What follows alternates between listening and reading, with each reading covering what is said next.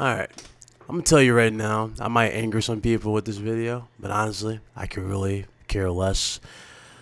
Call of Duty has officially been announced to be World War II. And you know something? I could care less. I'm tell you why. Activision does not care about this franchise. The only reason you're getting World at War II is because Battlefield 1 received such high praise. That is it.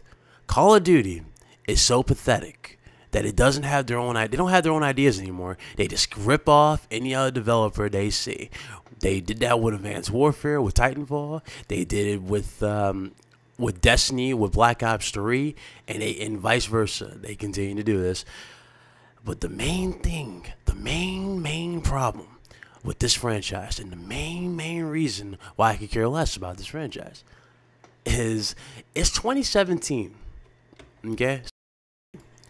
And here in 2017, they're still using the same engine from 1983. same engine from 1983, and they have not improved a single thing on this on the game. Haven't haven't fixed anything. Now, as someone who's played Call of Duty since the very, very first one, that's right, I've been playing since the very first one. And the one that broke me as a COD fan and made me not want to play it anymore and not even look at a COD game was literally Ghost. That was the last one that broke me. I did buy Black Ops 3 to try it out, test the waters. Thought it was better in terms of movement. But overall, I didn't even max prestige on that. I stopped playing at like 7 prestige. I threw that game away. Well, couldn't throw it away, but it was digital. But, you know, I stopped playing it. Have not touched it. Have not thought about a COD game. Have not have no reason to think about a COD game. So, okay, so we're we're boots on the ground. Yay, we're boots on the ground. Everybody's jumping with joy. Boots on the ground. Yay, boots on the ground. We're ready. Yet, last time I checked, they still have not to this day fixed the fundamentals that make up this game. It's still gonna be the same thing repackaged. You shoot somebody, you clearly know he should be dead on your screen. He should be dead. He turns around, shoots you twice you're dead. You spawn, and you're dead instantly from your spawn because somebody's camping in the bushes with an LMG with a damn thermal sight on it. See where I'm going with this? Nothing will ever be fixed with this franchise. Nothing. I tried to play Ghost not that long ago. Like about two months ago, I tried to play Ghost. And that game is the epitome of how incompetent Activision is with this franchise and why I laugh at people who literally just listen to Ali A and all these other clowns who really claim they're passionate about the series. They're not passionate about the series, man. They're only saying what they're saying to get views and money off the thing. That's it. They've established themselves to the point where yeah, they might they, they can say a little bit of negativity and won't get any flack for it. You know, some of you are just hypocrites. They'll take their flack, but you can't take nobody else's flack. So they have established themselves to the point where they can do that. But when it comes to overall, like their emotions, it's fake. It's 100% fake. It's forced. You got dudes with screenshots with their mouths wide open with supply drops, which will definitely be in this game. I don't know why people are thinking this they, they won't return in this. They're going to be in here. They're going to be like, oh, yeah, nothing but cosmetics are in the game in the supply drop system. And then um, two months in, when after they see them, uh, they see them supply drops not being um, bought. Oh yeah, by the way, the MP40 from the original World at War game, yeah, that's in here, but it's in the supply drop system. See what I'm going with this? It's not going to change. It's the same thing. Activision does not care about you. They don't care about me. They don't care about nobody's criticism. They don't care. They're going to keep milking this this uh, game series until it's completely dead. And the sad part is, it is. Everybody's moved on. I've moved on to Rocket League. Other people have moved on to Battlefield. People have moved on to Destiny. People are more hyped from Destiny 2 than they are for this. I don't see nobody talking about this. Nobody. I mean, if you can name somebody, by all means, tell me. But I haven't heard anybody talk about this. Not a single one. Is that is that pathetic? It's that pathetic, man. and it's crazy. It's crazy.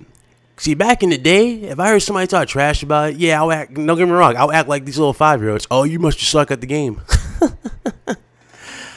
oh boy, how reality set in. How reality has set in. How reality has set in. It's that bad. Nobody cares anymore. Nobody cares. Nobody cares. So they're gonna come out with this. They might announce zombies. Whoop de doo. Who cares? Again, I don't care. Zombies is zombies. They might as well sell zombies as a standalone game and make sales off of that. Get rid of these stupid stories and invest more time just the multiplayer. Go all multiplayer only. Who cares about the story anymore? Nobody plays COD for story. Go all out for multiplayer. Kind of like what uh, Respawn wanted to do with uh, Titanfall. I think that's the name of Respawn. They want to do a Titanfall, but they want to go all online uh, with that. That's what they should be doing for Call of Duty. Just go all online. Nobody cares about the story mode. Nobody cares. Nobody cares. But no, they're not going to do that. They're not going to do that because, again, they have idiots that literally are toxic in this community that go to people's channels they claim you're bad the channel, right? You're running around killing people, but then immediately will go to like somebody like Ali A or somebody similar to Ali A who's just sitting in a corner, you know, creeping. Now gonna say, "Oh, you're you're so MLG. That's so MLG." I'm like, yeah, okay. that's just that's just how it is, man. Call of Duty, man. It's a joke. You know, it's a joke, and the new one, I have no faith in it whatsoever. I know it's gonna be bad. I already know it's going to be bad. It's going to, I can already see it having some uh, fake reviews from IGN. They're like going, oh yeah, it's eight out of it's eight point five out of ten. It has a lot of tanks, but nothing else. Like, yeah, okay. But uh, I can see that happening. Like I can see that happening. I'm pretty sure the panic knife is going to return because you know they got to have some BS in this game. So I'm pretty sure the panic knife is going to be a thing in this again. I'm pretty sure danger close and noob tubes and all that crap is going to be in here with you know remember the rifle grenades from World at War One? Yeah, expect that to be back in here. Expect it. You're gonna have um, a few people comment on this, you know, or I'm sorry, you're gonna have a few people. Um, the hell, they might have the IED back in here. Bouncing Betties, remember those? I'm just going through the back of my head here. There's so many things I can I can see being put in here.